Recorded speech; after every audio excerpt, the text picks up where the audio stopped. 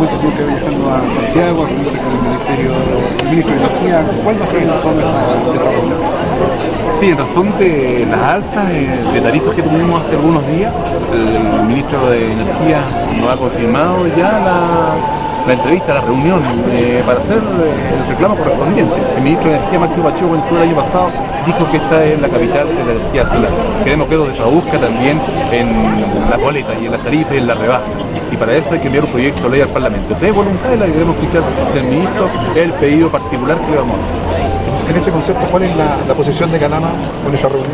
Bueno, nosotros quisiéramos que el ministro diera alguna instrucción y por qué no congelar este tipo de alza hasta que este proyecto de ley que vamos a pedir lo ingrese al Parlamento. No se puede castigar a una región en la que primero entregamos recursos de razón de la riqueza minera, entregamos energía, Tocopilla, Mejillones. Nosotros estamos hoy día entregando energía ya limpia, renovable al sistema interconectado.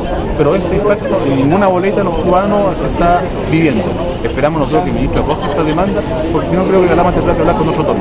Alcalde, ¿qué le parece que como Ministerio en general eh, se vea sobrepasado Calama en este sentido? El tema de la salud, del hospital, el tema del estadio, del deporte, el tema de la energía, de esta región. ¿Qué le parece? Bueno, yo creo que ese es el concepto que fue un centralismo muy eficiente, eh, que lo vive todo el país, pero particularmente acá se vive de manera extrema. Si usted se fija en el mapa de Chile, ser la única ciudad que está en altura, esa es la demás, todas pegadas al mar.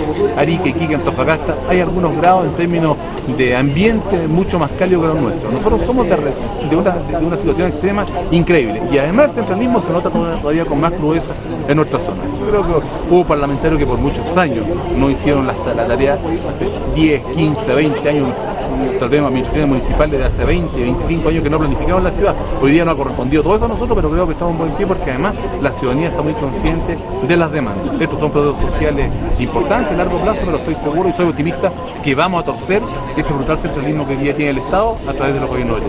Finalmente, alcalde, si no hay, digamos, un avance en este sentido, no se descartan las movilizaciones. La ciudadanía tiene la palabra. Yo, yo me quedaría a lo mejor con, con alguna invitación. Hoy día el ciudadano de Calama tiene que defender a su ciudad. ¿Cómo la defiende usted? ¿Cómo defiende usted Calama? ¿O cómo defiendes tú Calama? Más que sea la autoridad de tu norte y en conjunto. Si somos cada uno, asume un compromiso individual, vamos a ser los que vamos a estar defendiendo este